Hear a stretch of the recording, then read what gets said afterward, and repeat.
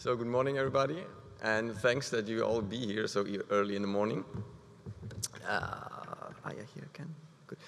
Um, I'm really grateful that I can actually explain what I'm doing in front of you because you are actually the ones who are sort of supporting this research, and I think that's really, really cool. Um, uh, a very, very cool opportunity for me. So before I want to start into this uh, topic, which is called autophagy involvement in BPAN, which I will explain in more detail later, I actually brought this screw here all the way from the Netherlands, from Europe to here, because I, I think it's important because we are here in, I'm working in a fundamental research lab, in a basic research lab, and I want to explain why, why this is actually important, why I think it's important also when we talk about a disease so I imagine ourselves as, as sort of fundamental researchers, as some sort of mechanics in a garage. And when then someone is coming with a broken car actually towards the mechanics and say, hey, look, my car is not working properly anymore. And I'm pretty sure it's because of this screw, because I found this screw underneath my car this morning, and this is not supposed to be there. So can you fix it? Now the, the, me the mechanic would probably say, yes, I can, but before I can fix it, I first have to figure out actually what is going wrong with this, where this screw has actually, where does it belong to this screw? So then, only then I can start fixing your car. And that's basically what I see how BPAN is. We have something that is not working in our body, and we actually know the screw because we know our, double, uh, our gene that is mutated, WD45. But what we don't know is, unfortunately, what this gene is actually doing in the cell. So, and before we don't know what this gene is doing in the cell, we cannot actually fix what is wrong in a, uh, in a sort of sustainable way. And that's why I think basic research is really important also to find out what is actually going wrong. And then we can start fixing it. So now, so can I not, can I do this? Ah, yeah, thanks. So what I want to tell you now in the, in the next couple of minutes is basically why I think autophagy might be involved in, in BPAN and in the, in the problem with BPAN. And just for quickly for the structure, I will just talk about a little bit about what is actually the gene and the protein WD45, and then what is autophagy, and in the end, a little bit what are we doing actually in the, in the lab. So in BPAN, we know that the gene that is causing the mutation is WD45. So there is a mutation, it lays on the X chromosome. And when I started this research, I found BPAN, when I looked at the name, beta propeller protein associated neurodegeneration, I thought it's a very complicated name. But in fact, actually, I think it's pretty self-explanatory when you, when you know what it means. So neurodegeneration, when you look at this word, you know it has something to do with the brain, with our brain. Something is not correct in our brain. And beta propeller protein, it's actually when you look at how the WD45 looks like, when you really zoom in in this protein, you can see that it, you see with these numbers, 1 to 7, it's, it resembles actually a little bit like a propeller. And then when the first researcher discovered this protein and saw how it looks like, they thought, well, it actually looks like a propeller from an airplane. So we call it propeller protein. And this beta comes from actually when you look even closer to the structure, you see these arrows. This means that this is actually a beta sheet, and therefore we have the name beta propeller protein. And since it's, it's uh, damaged in, in BPAN, it's called beta propeller associated neurodegeneration. And what I found interesting, when you look now in, we, we did it in 2018, look at all the, all the mutation that were publicly available, so that causes BPAN. And when we did that, you see with all these stripes marked, uh, you see now the propeller linearized in the same color code, and you see that the, the, mutations that are actually causing BPAN are all over the whole gene. It's not that it's just one, one particular position that is mutated or even not even one hotspot. It's really all over the protein. So this means that there's a lot of variety of different mutations in, in BPAN that causes actually the same uh, the same disease. So I will come to that to WD45 later. Now I'm switched to autophagy, what it is. So when you, when you would read the first sentence in autophagy, it's an intracellular pathway. And what it means is that and our body basically is organized in organs. We have the brain, we have the liver, we have the heart, and the skin. And these, these organs are actually all consists of cells. This is basically is the smallest component of our body, the cells. And autophagy takes place in these cells. So it's not taking place in the blood or in the saliva or somewhere else, it's really in the cells. But when you would come now to our laboratory and, and look uh, in where, when, where we're daily working with, it's not like that we have pieces of skin or liver somewhere on our desk and our yeah, bench. It's basically when you would come in our laboratory, open the incubator where we, where we grow our cells, you would just see something like that, which is in principle just plastic dishes with a red liquid.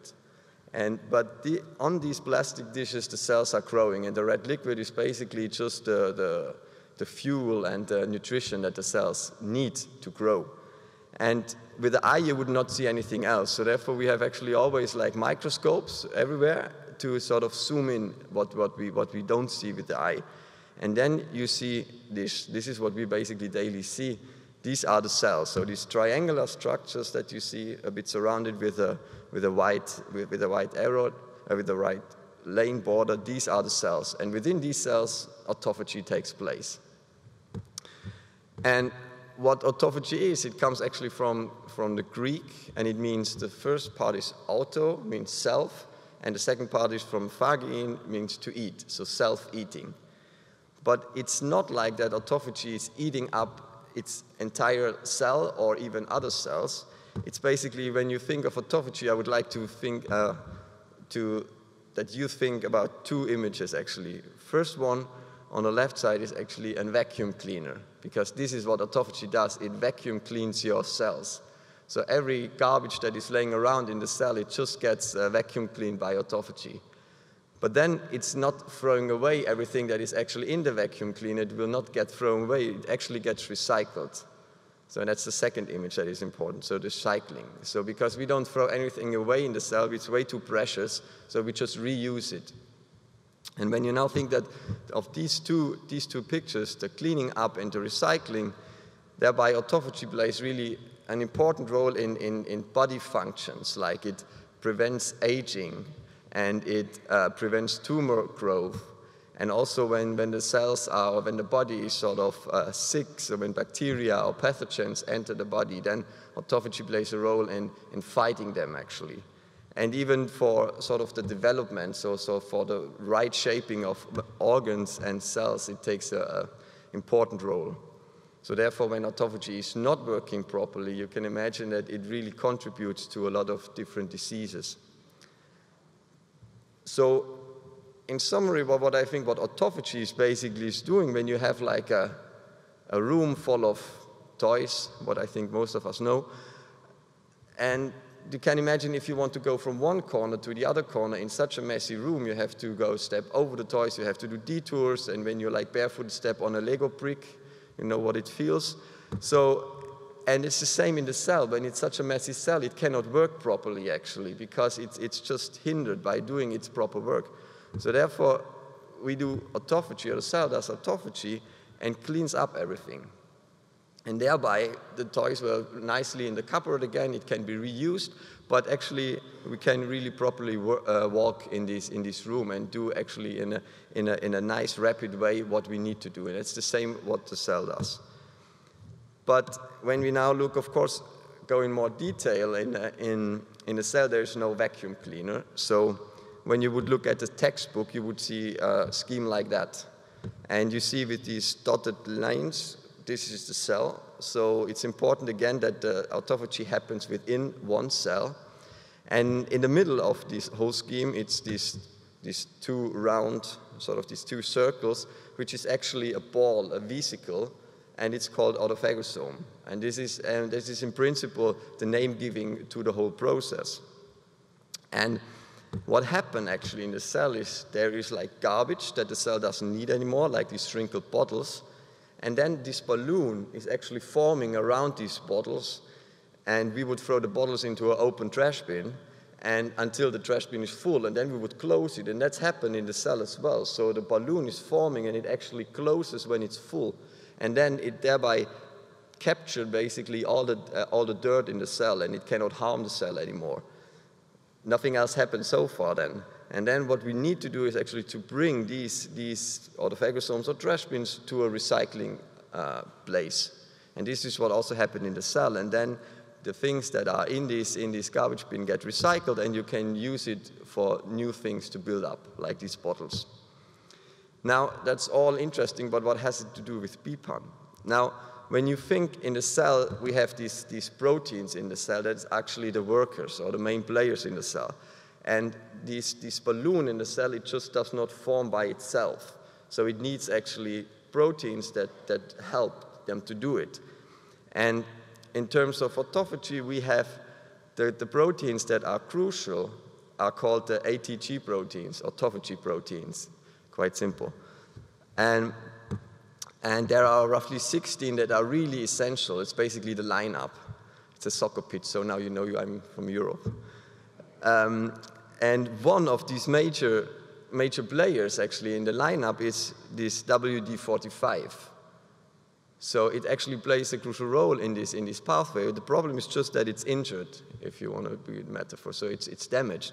Now the question is, how much does this damaged player influence the whole process? And this is actually, and that's why we think it, that autophagy plays a major role in, or plays a role in BPAN, because this, uh, this WD45 is, is sort of damaged in, in BPAN. So again, well, what we're doing now in, the, in, in our lab actually is um, we work in a so-called in, in, a laboratory cell line. So this is again the, the, picture that you see. These are the cells where we're working with. In the first place, these cells has nothing to do with BPAN. They are just normal cells that we that we constantly use in our in our laboratory. But what we can do with these cells quite easily, we can actually change these cells. We can, we can delete, so we can erase the WD45 protein, or we can change it and mimic the BPAN uh, mutations that are found. So therefore, we basically mimic a, a BPAN, a cellular BPAN system. And then with these cells, we can measure autophagy. And what we can also do is we can just look at the cells and look what is actually going wrong in these cells. So what are the difference when we compare the, when we compare the deleted cells versus the normal cells, the, non, the, the non-modified cells. And to give you just one, one, one example, what is basically what we found is these are now in green. On the left-hand side, you see the, the normal cells, the non-modified cells. On the right-hand side, the, uh, the WD45 deleted cells. And what we, what we sort of stained, so what we colored in these, in these uh, cells are the, the mitochondria. And these are actually the, the, energy, the energy generating compartments in the cell. And on the left-hand side, when you look closely, you see that these mitochondria, they form as such network structures, so worms or spaghetti, if you want to say. And when you then look closely on the, on the right-hand side, you don't really see these long worms anymore. They're just like these dots all over. So this is actually then give us, this, this showed us that with these, this, the structure and, uh, and the network structure of these, these energy sort of source compartment, or these energy compartments in the cells are somehow damaged and, and fragmented. And this was interesting because I told you that uh, in autophagy, it's basically um, an overall cleanup of the cell. So it just blindly cleans up everything. But what it can also do, and what we know, is that it can also basically cherry pick. It can pick things that are damaged in the cells quite specifically. So like mitochondria, like these, these uh, energy building compartments.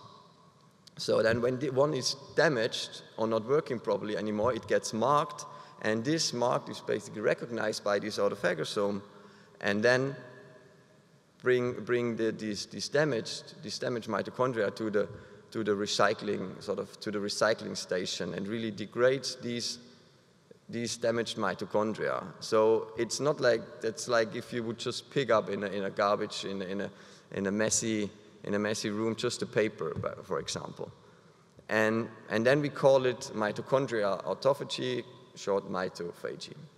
So this is in principle why, why, why we think that in, in, in, these two situations we have an overall cleanup that might be that might not going well in these cells. And we have also specifically because we saw we have these defects in this mitochondria network that we could also think that here in the specific targeting of these damaged mitochondria there's something wrong.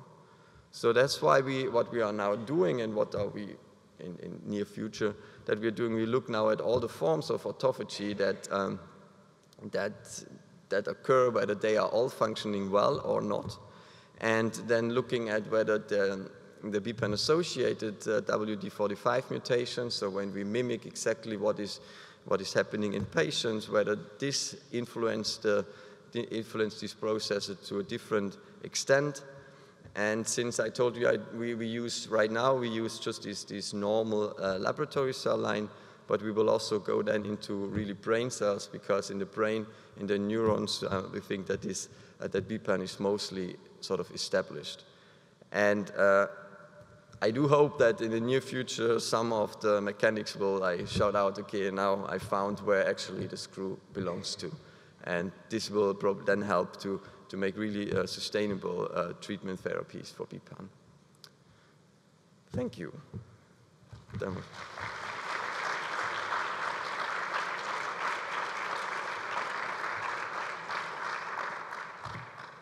I don't know for questions whether we should have questions later on, and, but you can always find me. I'm around the whole day, so when you also want come later and ask at a picnic, I'm available.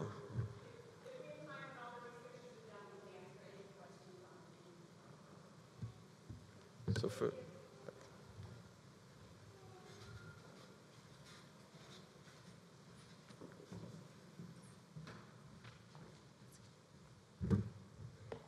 Okay, our next speaker is Dr. Seo, and she was the recipient of our $150,000 Early Career Researcher Award um, with monies raised by the BPAN families.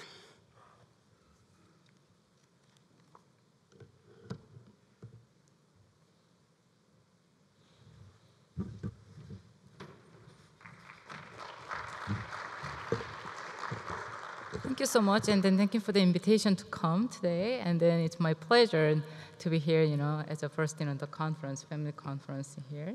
So I'm going to talk about, you know, the, our work about the roles of, you know, iron in the BPAN.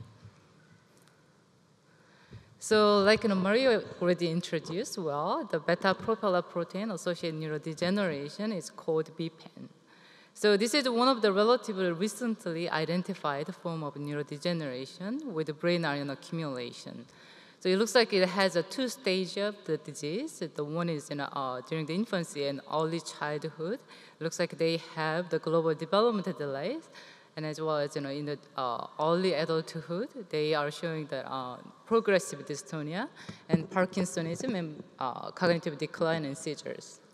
So if you look at you know, the MRI images of the brain iron accumulation in the you know, patient, like other you know, uh, MBI patient, they actually showing the iron accumulation in the specific brain region we call the substantia nigra in the top panel, and then uh, globus pallidus in the, the lower panel. Not other you know, brain regions accumulate iron, but uh, only these two specific brain regions showing the iron accumulation in the BPAN patients. So you're interested in why iron is accumulated in these brain regions. So, like you know, Mario already you know, introduced, well, the BPAN is the, you know, um, the caused by WDR45 gene deficiency. So WDR45, why it is you know WDR45 is because of the it is encoded uh, protein called WD repeat protein.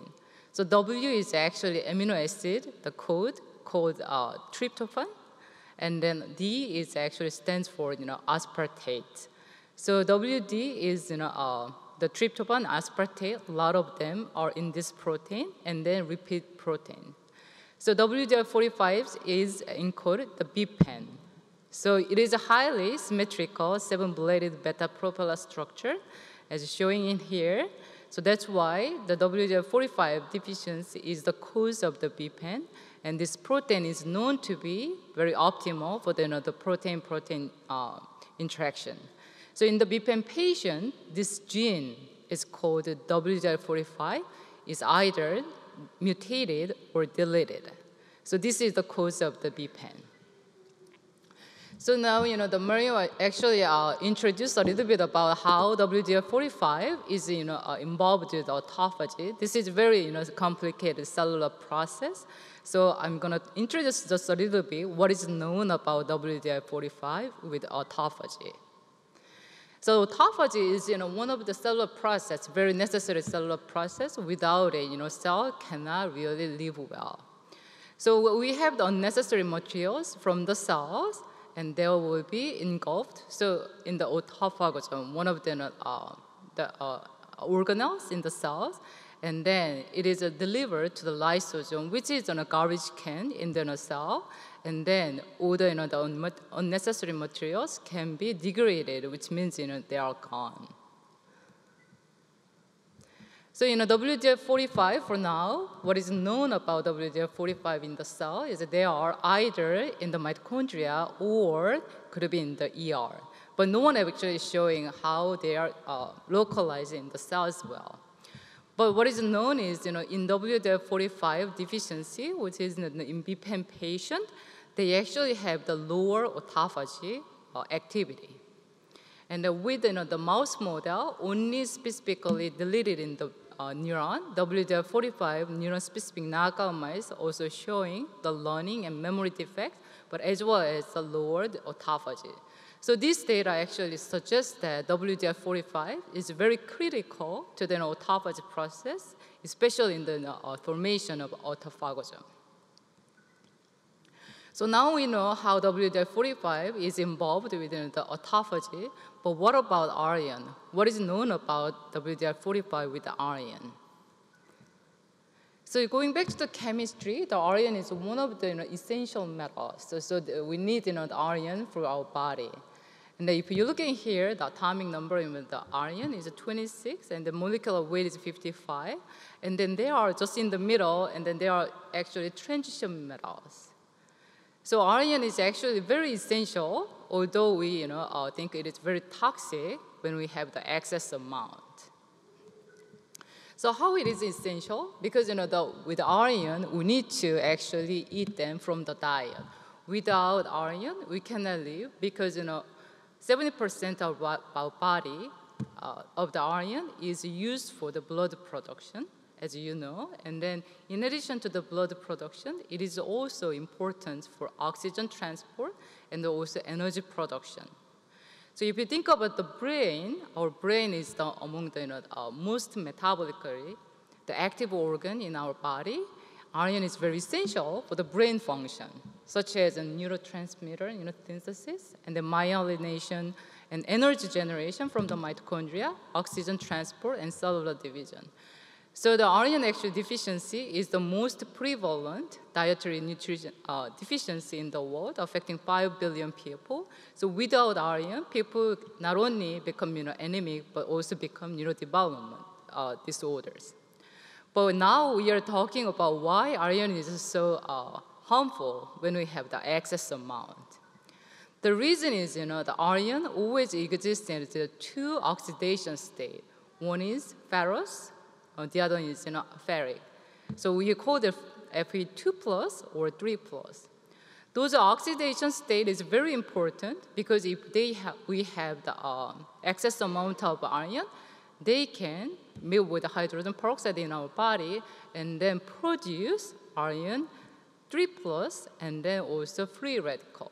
So free radical is you know, a reactive oxygen species we call ROS, which is a very, very uh, potential and then very harmful non-selective oxidant. So that makes you know uh, our body very velocity. So that those you know uh, free radicals can attack any kind of organs, such as you know, DNA. They can actually uh, attack the uh, protein. They can attack the lipid. Lipid is also in the, in the cell membrane everywhere. So they, they actually cause an oxidative injury in our body. Then tissues are all damaged by iron. So that's why iron is very toxic and also you know, essential. So we need to really maintain the homeostasis in our body, and then the system is very developed well. So now we know how WDR45 is, you know, uh, contribute to the you know, autophagy, and uh, WDR45 deficiency also accumulate the iron in the brain. So then my question becomes, what is the relationship between impaired autophagy and then iron accumulation in the brain, and how does it contribute to the neurodegeneration? So to address this question, we are looking at how iron metabolism homeostasis is altered in WDR45 deficient BPAN patient, those know the cells. So it's more than complicated. I wanted to really make it easier, but let me try the best. So there are in the cell, looking at the, you are looking at the neuronal cells, and then there are two forms of iron that can be incorporated, get into the cells, which is a, uh, one is transferrin bound iron, and then the other form is a non-transferrin bound iron. So we call it TBI or NTBI. So usually in our body, in the blood, usually iron is uh, bind to the transferrin. So that is a transferrin bound iron, TBI. So those in a TBI is, is getting into the you know, cells through the transferrin receptor. Once you know the anti, uh, TBI is binding to transferrin receptor, they get endocytosis, and they can be used for you know, uh, in our, our, cells.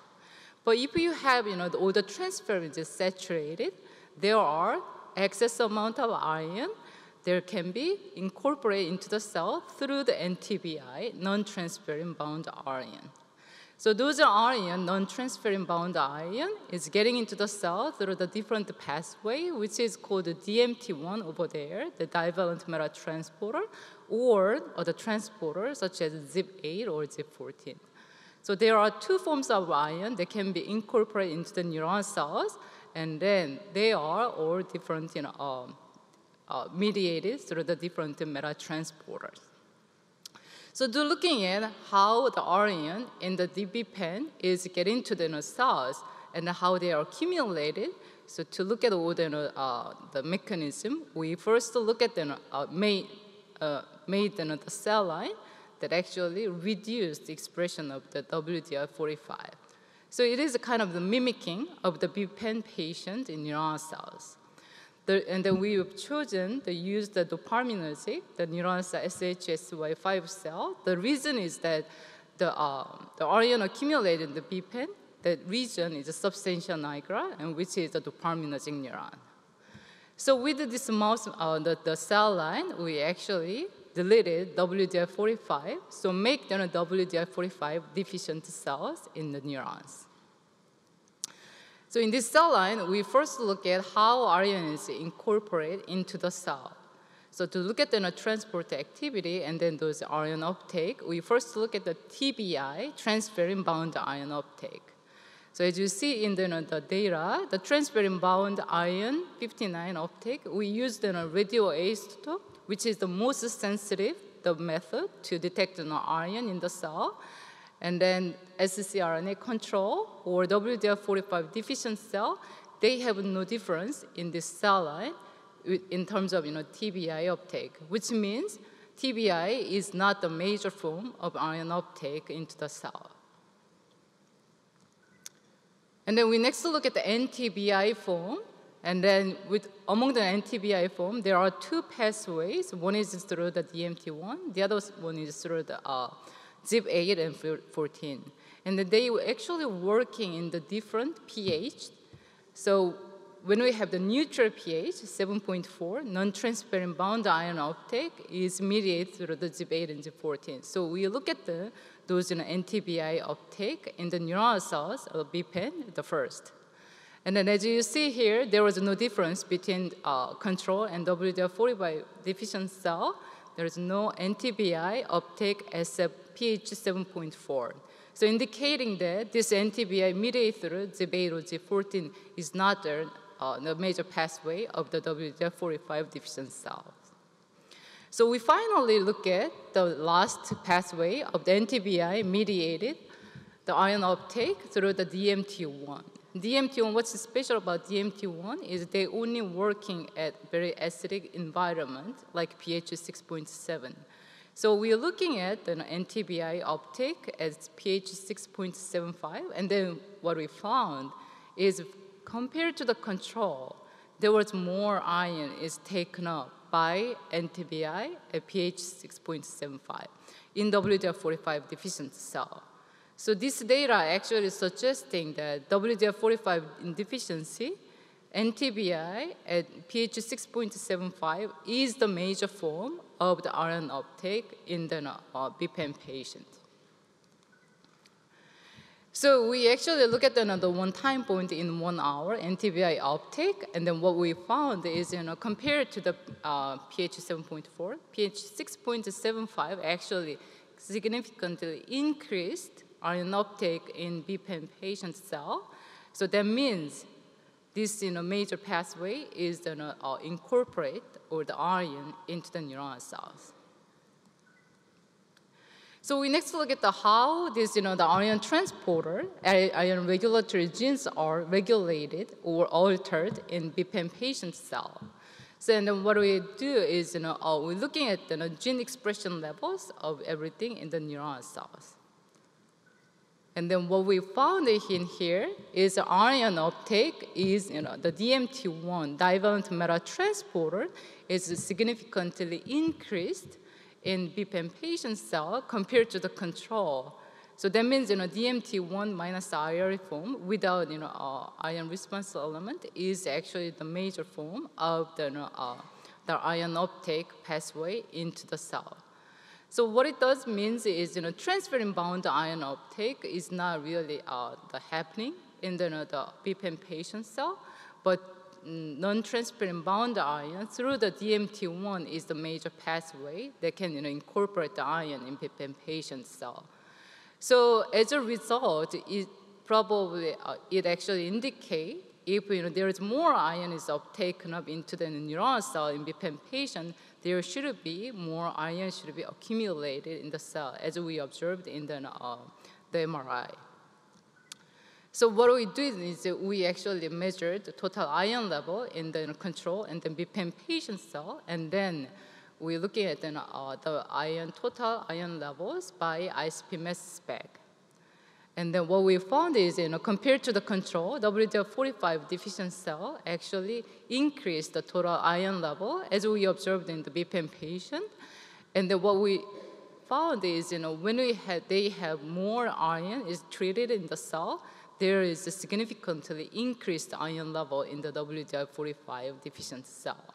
We don't know how or why this, you know, the WDR45 has more accumulation in the brain, uh, right now, but we are actually working on it.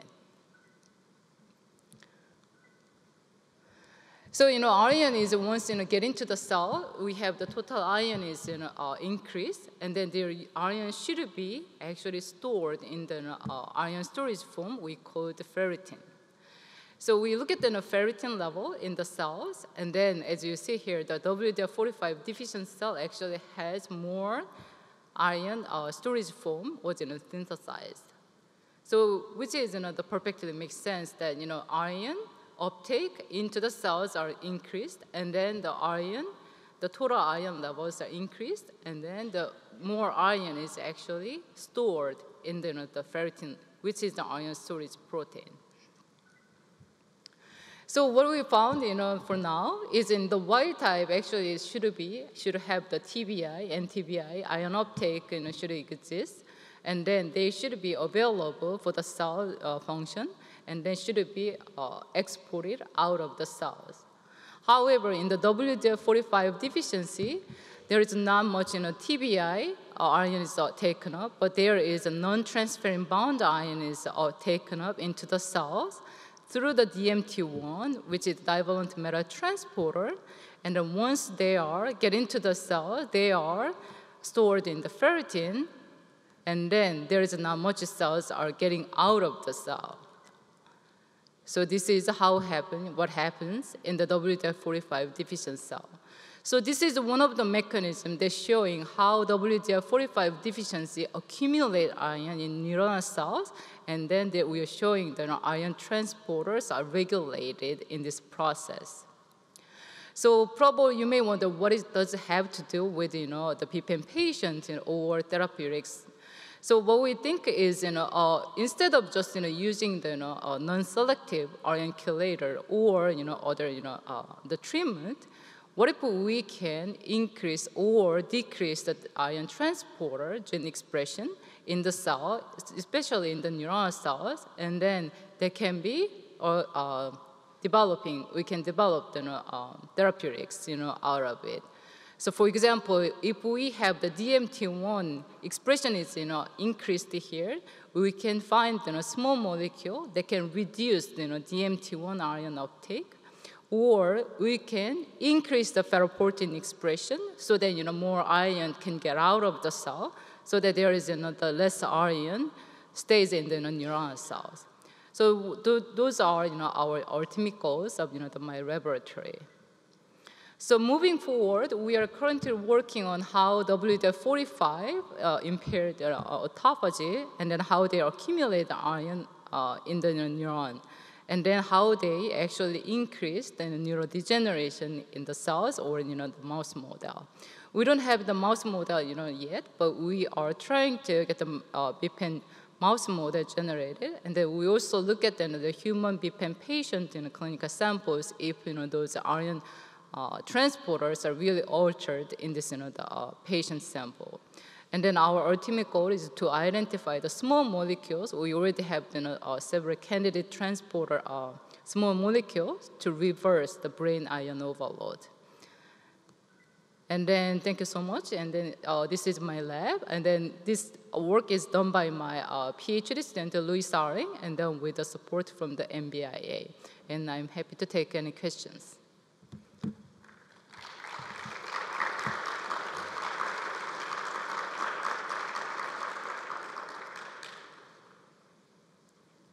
Mm-hmm.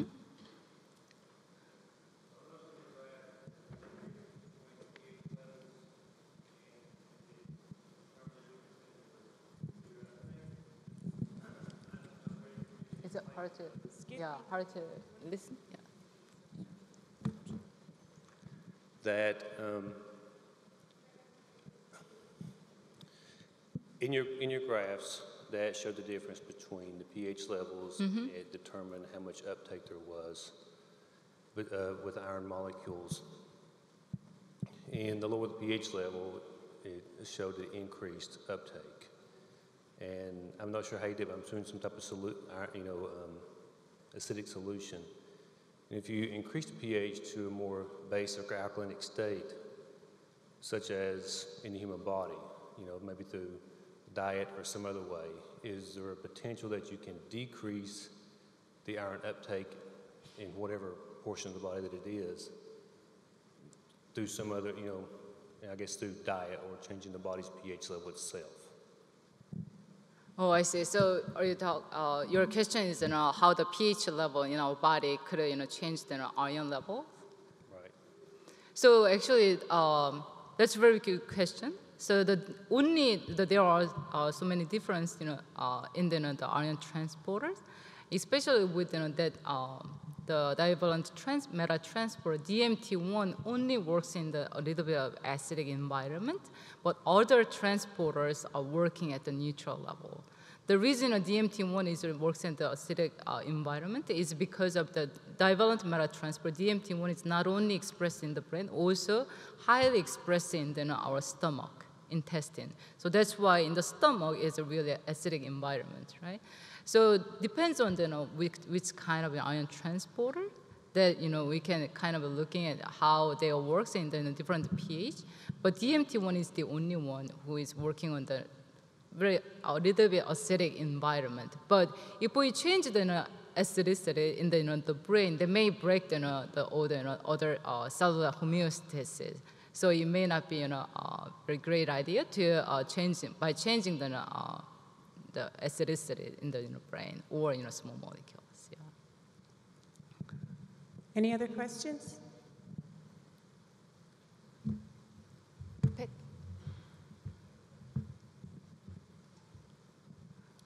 I've heard a lot about iron once it gets to the brain and differing opinions on is that when potentially regression happens, or can you talk at all about, you know, right now our daughter is four and does not have any iron in her brain, but to me, obviously a layman, I don't know medical terms very well. I would, I don't want the iron in the brain, but I've heard that that, that maybe isn't the, the reason why regression would happen. So why iron is in the brain? Or, uh. or is that when the regression happens, or can you talk at all about that? Yeah, that's a really good question. So I'm working on the you know, iron in the brain in general. So not only the you know, MBI, the patient, but also aging brain or the brain uh, within Parkinson's disease or Alzheimer's disease, neurodegenerative disease actually accumulate a lot of iron in the brain. So the my target is actually how we can reverse the brain iron overload to treat the neurodegeneration, including the NBIA. So I don't know why that happens, but my uh, hypothesis is because you know, once we have the iron from the diet, diet is the only source we can get the iron. Once we get an iron in our body, what's very intriguing about iron is iron is never excreted out of the body. Iron is always circulating through the red blood cell. So iron is always needed in our body and then recycled. However, when they have you know, some, you know, for the NBIA, especially BPAN, probably the WDR45 is deficient that uh, the gene is not really function well. So that's why some of the iron homeostasis has been altered. And then that is accumulating in the, the brain. Other neurodegenerative disease also in the um, kind of the similar pathway, but it is as a consequence of you know iron dysregulation or iron dyshomeostasis actually cause you know, iron accumulation in the brain. The reason, you know, the brain regions, the substantia nigra or the globus pallidus accumulate a lot of iron is because of the, in general, that area has already have the, a lot of iron is needed. And then those iron, as I said, you know, iron is also needed for the brain function, but actually some of the you know, defect in the gene, the gene, uh, the iron is more accumulated in the, the brain. So if you look at not only the BPAN, but also the PCAN and PAN patient, they also accumulate the same reason, similar reason, not the other, you know, the brain regions accumulate the iron.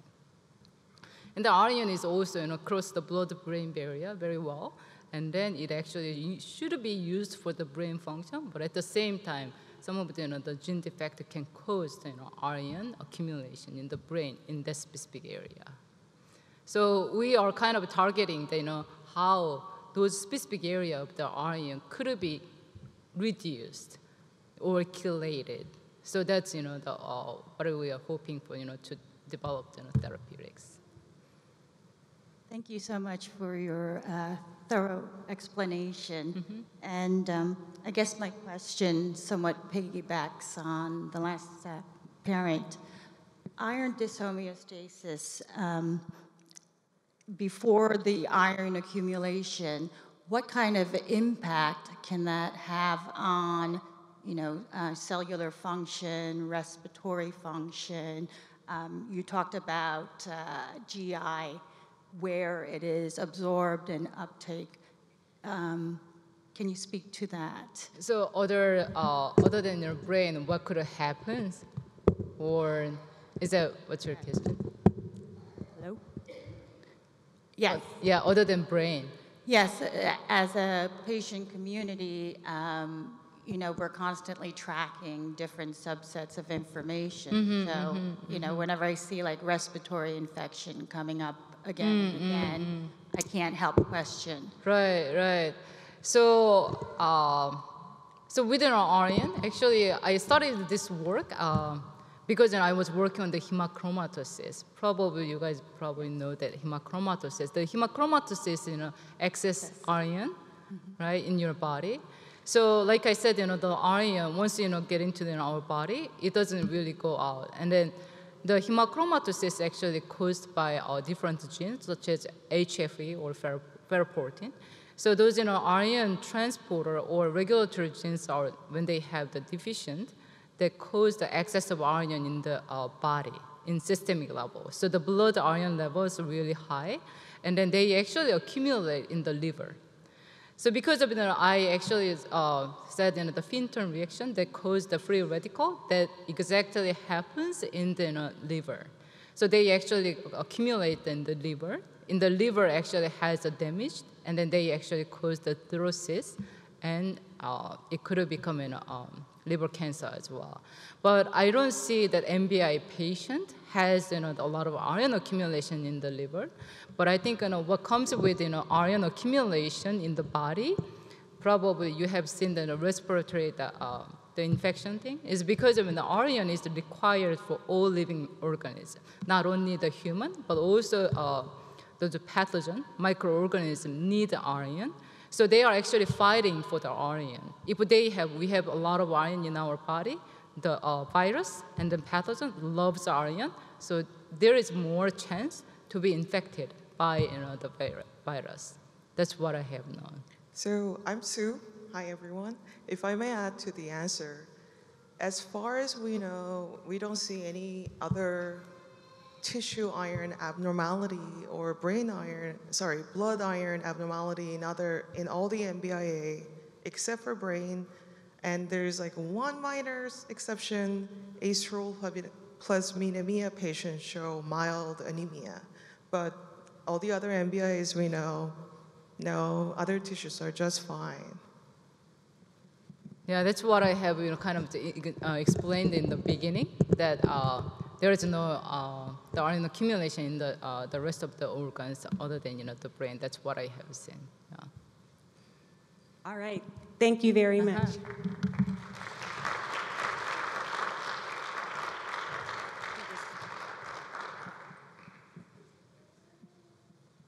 Uh, next, we have Sue Young Jeong, and she uh, spent a lot of her career at the NIH after getting her doctorate and is now in the OHSU lab and is going to talk to us a little bit about some of the work happening there.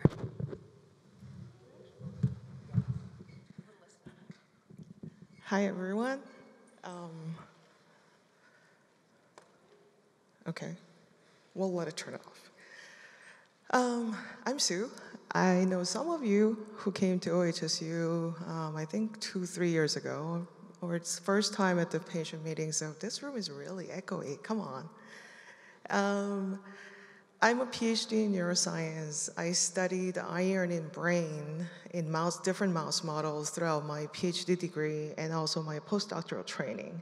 Now, after the postdoctoral training, I wanted something clinical that I don't have to work all the time with mice.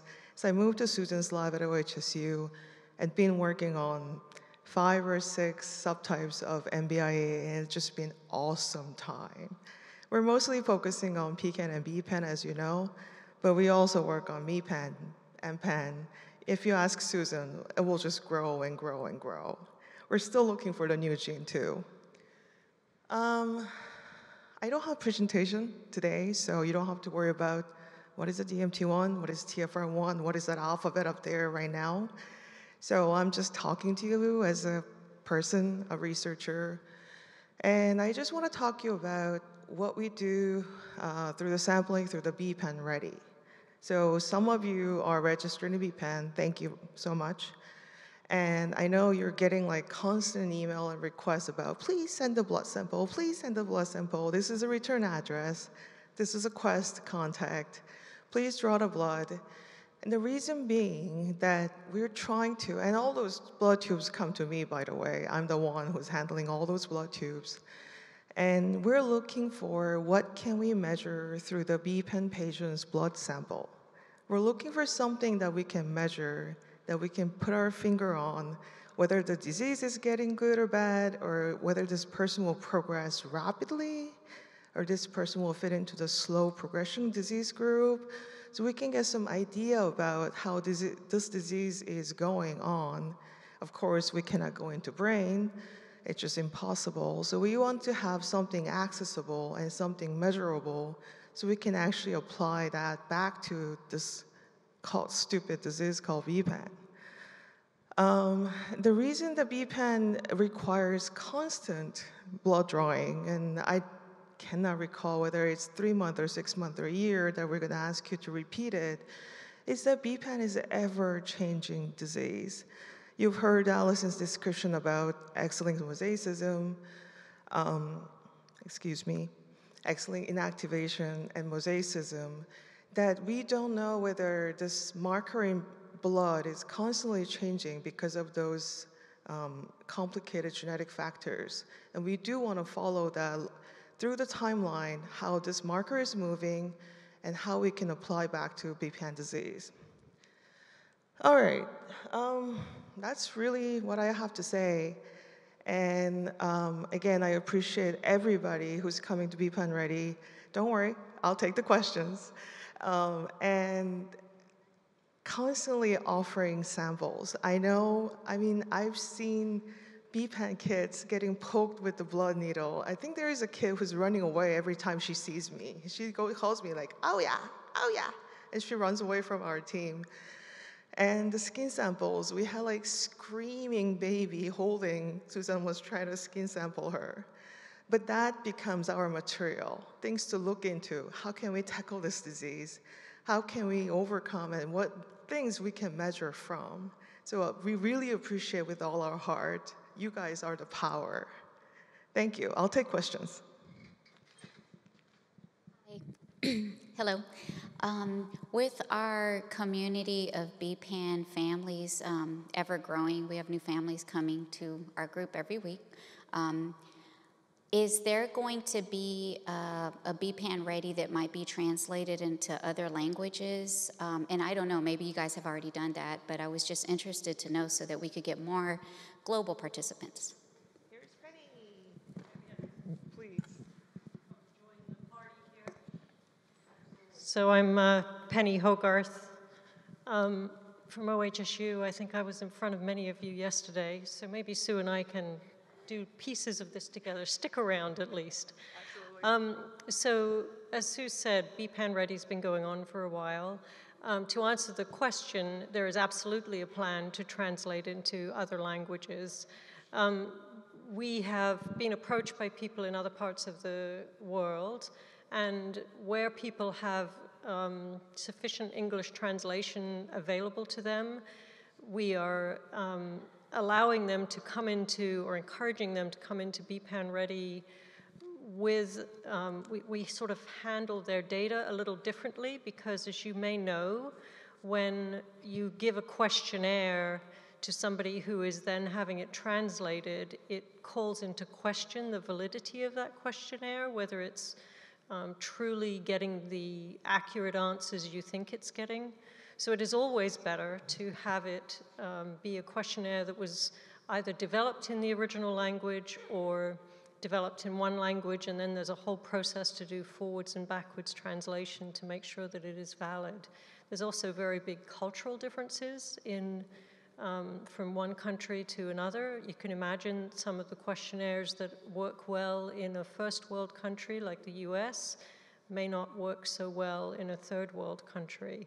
And so we, um, there are really, really big challenges to doing that, but we are committed. Um, I think we will try to roll that out probably um, in Spanish languages and in um, uh, Dutch, partly because some of the tools have already been translated into Dutch, and because there is a very active um, family community kind of waiting for that in, in the Netherlands. Um, there's motivated people to help us um, make that happen. Um, we are uh, fortunate that uh, English is a, a, a, language, is the most commonly spoken language around the world, and um, so it is, um, depending if you count by numbers of people or not, but but it is a sort of an accepted language. There are many, many more people in Europe who are truly fluent in English than uh, are fluent in Dutch and many uh, the, the, other way around. And so we're um, we're trying to sort of refine what we're doing in English and then figure out how to roll it out into other countries. So that's kind of a long-winded answer, but the answer is yes, we're committed to it. Hi, good morning. Good morning. I just had a question in regards to the samples that are shared. Like, how are they shared with other institutions and other Mm-hmm. partners that you're collaborating with? And then the second question is, how are how are the parents and the families being requested for the samples? Is it Yeah, so it's a little bit of a moving target. So let me tell you what we planned in BPAN Ready. So we started BPAN Ready with funding from NBIA Disorders Association. Thank you. and then we had some additional funding from the Million Dollar Bike Ride um, for um, some analysis, which is going to happen in the coming year uh, to sort of look at the feasibility of what we're doing using this same approach that we've used in PCAN, a statistical approach that's called latent growth curve analysis, which I can talk a little bit more about if anybody's interested. The sampling was always an intrinsic part of our natural history study plan to establish a biorepository, to do that in a systematic way that could then tie those samples where people wanted to to natural history data, to collect them over time from, from individuals, including um, what we would call unbiased samples, where we don't have a specific analysis plan for the blood that's coming in the door, but rather we are processing it and storing it under optimal conditions so that as new tools come along, that blood is um, appropriately um, curated and tied to a data set and stored under optimal conditions. The challenges of getting samples from people who are geographically dispersed and um, having them handled optimally, getting them to us quickly so that we can have good quality samples uh, was a little greater than we expected. And it also limits the number of samples that we can collect. You can't do skin biopsies uh, easily on someone who's on the other side of the country and know that they will be handled optimally. Um, so we have reserved, so we, we negotiated um, a contract with Quest, and it was always our explicit plan to roll out the sampling in the second year of the study so that we, we hope to do it, you know, after nine months of data collection, but it actually wound up taking a bit longer than that. The contract with Quest is negotiated. We chose Quest because they responded to our phone calls and they have centers in most areas of the country. There are some people who don't have a Quest site near them, and uh, we will make other arrangements with local providers or local laboratories in those cases. So those of you that are in BPAN Ready may not have had um, a, a sort of a scheduled request for blood samples because we're just getting the Quest thing finalized now. What will happen is for your scheduled visit, so the one year visit, um, we will, and we're trying to alternate data and blood samples at different times so that we're not burdening you as families too much. Uh, you'll get sent a kit uh, with instructions about where the nearest Quest place is. We will talk to you on the phone to make sure that this is all going to work. You'll go to that Quest site, um, uh, get the blood drawn, and the stuff will be shipped to us overnight. Um, for skin biopsies, currently we're limiting that to participants that, that um, come to see us clinically at OHSU because we um, are obtaining those skin biopsies. Uh, you know, it's a bigger deal to get a skin biopsy, although kids scream when they're pinned down.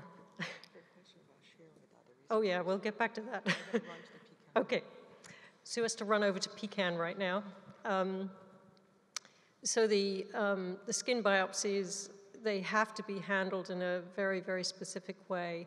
These get um, what happens to a tiny little two millimeter skin biopsy, which is about as big as the lead of a pencil, is it gets um, processed in a very specific way. We can then grow those cells, um, basically immortalize them so that we have a store of cells. You can do the same thing from blood, certain blood samples, uh, where you have a, a sort of a store of cells that is not absolutely infinite, but almost infinite for future use. Now, you asked the question about how those get shared. As people request samples, we will uh, distribute those samples. We uh, prefer that it be a scientifically rigorous and vetted project. Um, we have uh, shared samples with people whose science we don't feel totally great about, but if they um, abide by a certain set of principles, we will share samples with um, most researchers that, that approach us. There's a little bit of paperwork that has to happen um, that's required by our university called a materials transfer agreement. Um, we do ask that the accepting um, researcher cover the cost of things like shipping and retrieving the samples, um, processing them to get them ready for shipment, but those are pretty modest costs. Um, and so, and we've been, um, over the years, we've always shared samples with people. So I think there's been some uh, chatter, rumors that OHSU doesn't collaborate with people and doesn't share samples, but our record speaks otherwise. Um, and as I said in the BPAN um, sort of private session that we had, or the limited session that we had, whatever that day was, two days ago, yesterday, it's all blurring at this point. Um, the gene discovery actually came about through exactly that kind of mechanism. So we had been um, seeing patients with brain iron for many years. Uh, in our clinic, we had been collecting data and samples in a repository, and we had a group of patients that we recognized had similarities one to the other. And they didn't look like some of the other NBIA patients that we followed. And they also didn't have any of the genes that we were able to test for at the time that we'd found. And so, and each one of them was one child in a family. So we went into this really not knowing if it was a genetic disorder. Now, that's a pretty big leap of faith. We kept those people in our repository. We got data, samples, invested time, money that was unfunded projects uh, for many, many, many years. And then we had this, we recognized at some point, with the Stretters' help, um, that we had a little tiny collection of people who all looked one like the other. They were all adults because they came to us with brain iron. That's why people came to us. So they were all adults. And it was through a project that was funded by NBIA Disorders Association. And Patty, remind me, was it Alliance funding as well? No, no, that was before the, the Alliance. The NBIA Disorders Association funding a small grant to a very young researcher, like the ones you've seen here today, who uh, was coming on the scene just as whole exome sequencing was breaking onto the scene. And uh, it was a very exciting time in genetics. I make it sound like it's 20 years ago, but in reality, it's actually only a few short years ago that whole exome sequencing was available. And so it was a collaborative effort we had these patients phenotyped. What that means is they were very, very carefully described clinically. This is what they look like. This is what their clinical history is. This is where, how they started in childhood. This group of patients all had intellectual disability. They all had um, some seizures in childhood that they grew out of. They all developed brain iron at some point in their course, and then all of the people that we had as adults had experienced this deterioration, this regression in mid to later adulthood. And so we sent samples and data from those individuals to this young researcher, and it was just 13 people. And we found the gene in a matter of weeks. And that came about through unbiased research that was funded by NBIA Disorders Association with no real knowledge that we were going to get anywhere. It was kind of amazing. So, you know, it's a, I'm putting in a plug here, a shameless plug for research to proceed in an unbiased way. I know that there is a move because there's more BPANers now than any other group in the NBIA Disorders Association, and you guys could splinter off and form your own group.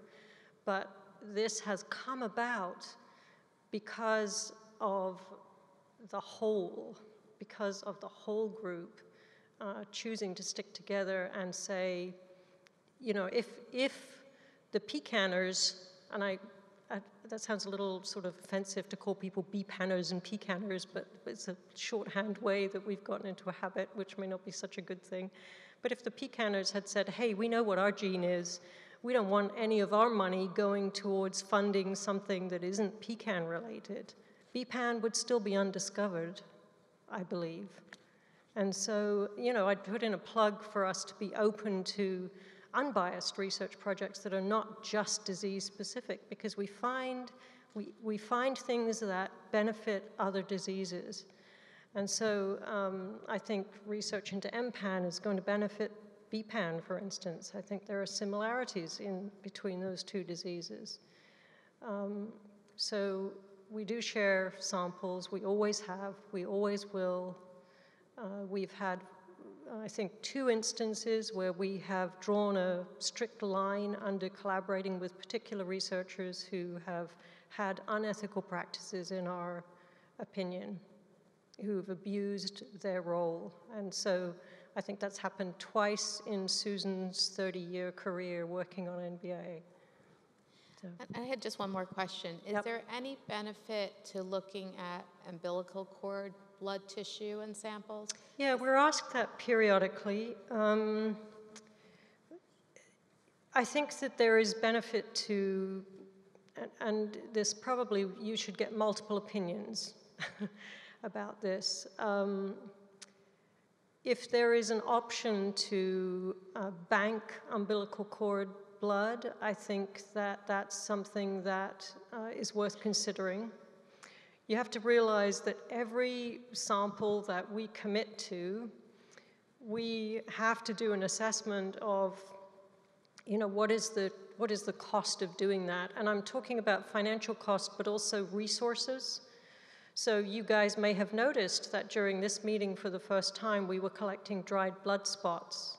These are those little filter papers. So when your child got their blood drawn, you may not have even noticed this, but the, the part of blood that was in the tube at the end of the blood draw, after the blood's delivered into the tube, there's a little bit left in, in the catheter, the flat, flexible plastic part and we dropped that onto dried blood spots. These dried blood spot filter papers are the ones that are used for newborn screening.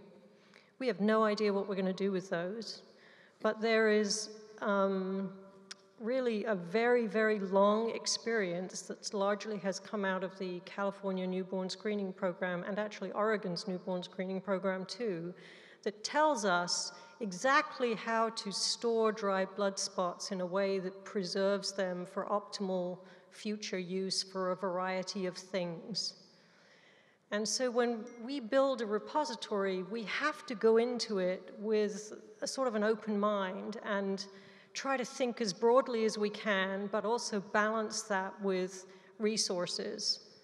So, you know, obtaining and storing umbilical cord blood is um, you know, not something that a lot of people have access to.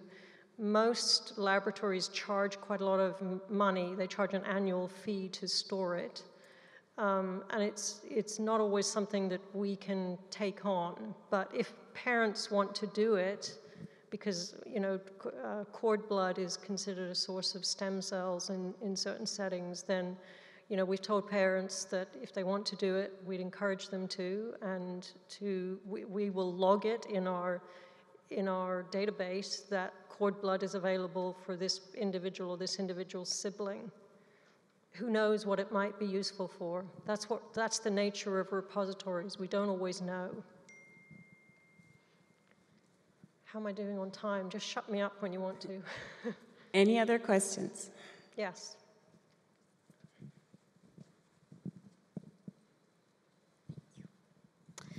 Okay, if a BPAN patient might accomplish a healthy mitochondria, uh, could it be possible to reduce the effects or hopefully to stop the disease? Say the first part of the question again. If they have healthy mitochondria? Yes, that's right. If would it be possible to do that? Um, well, I don't think we know quite enough at this point. So I, tell me a little bit more about where your question's coming from, and I, I might be able to answer it better.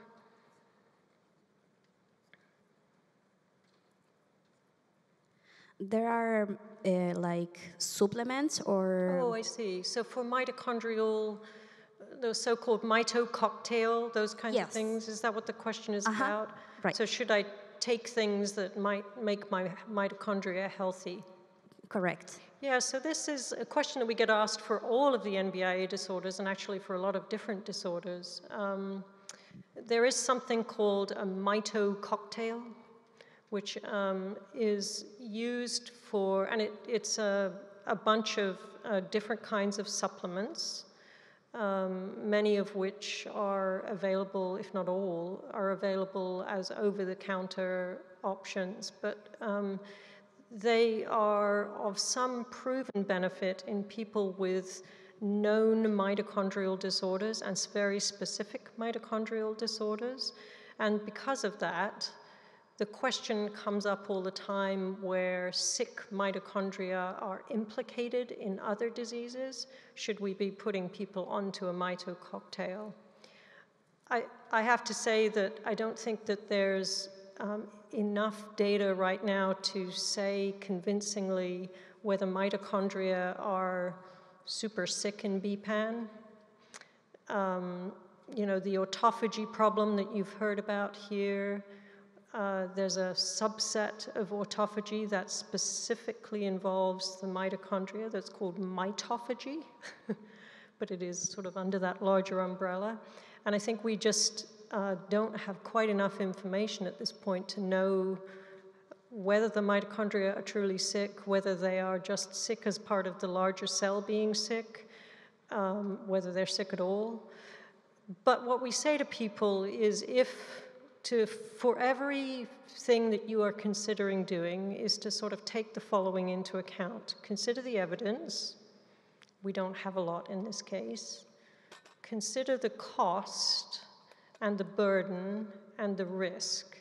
And the cost is not simply financial, that's where cost and burden, I think burden is probably a bigger, a better word, because burden may be financial, it may be practical, it may be, um, you know, so for instance, uh, you know, if, you, if there's a drug that requires that you have your blood drawn every single week and there's no evidence for it, is that making the burden too high for a person? In this case, the, the cost is not insubstantial. The cost of these supplements is not that low. It can get to be quite pricey for families. It's not usually covered by insurance. In fact, it's almost never covered by insurance for a disorder like BPAN where there's no data. And um, so we are, but on the other hand, from a risk perspective, the risks are probably quite low. So if patients want to do it, if families want to do it, we don't, you know, wave our hands in horror, but we just want them to go into it with eyes wide open. Risk is probably low, no real evidence at this stage because we don't know enough, and consider what the burdens would be for your particular family.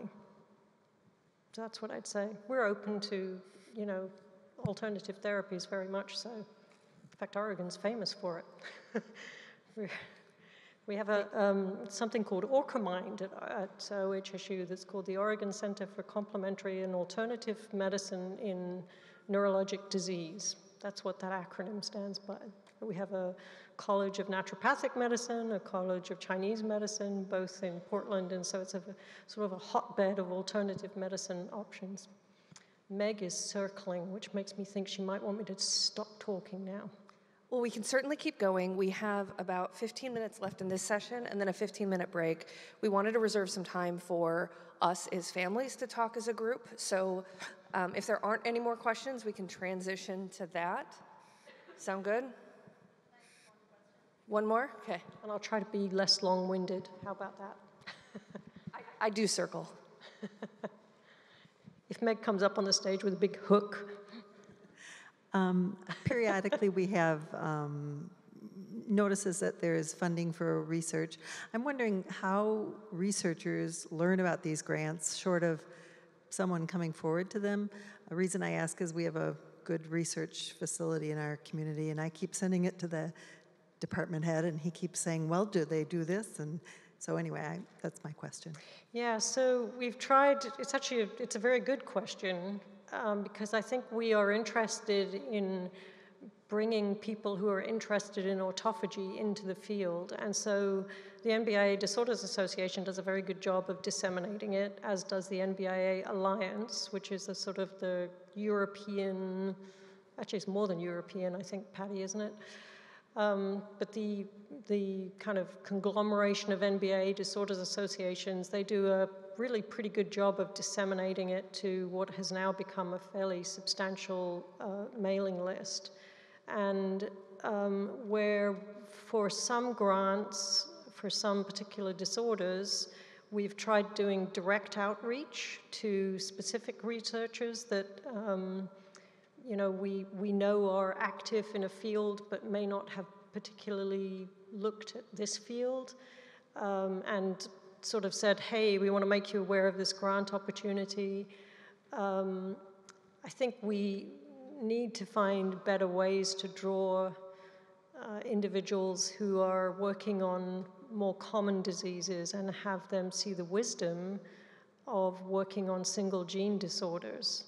And the interplay between common disease and rare disease.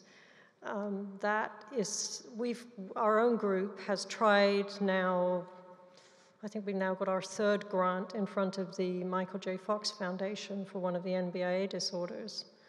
Um, they fund Parkinson's research. I mean, it's a little bit of a flip question, but we've gone to agencies that fund common disease to try to point out the ways in which our diseases are related to those common diseases. Um, it's not been a successful strategy the last two times we've tried it, but we're quite hopeful about this grant that is in front of them right now. Um, and so, uh, you know, I think we're trying through conventional mechanisms. It goes out to most universities, which is where, in reality, most of the researchers are. Um, and I, I think word is spreading. And then publications, I think people start to get excited about it. So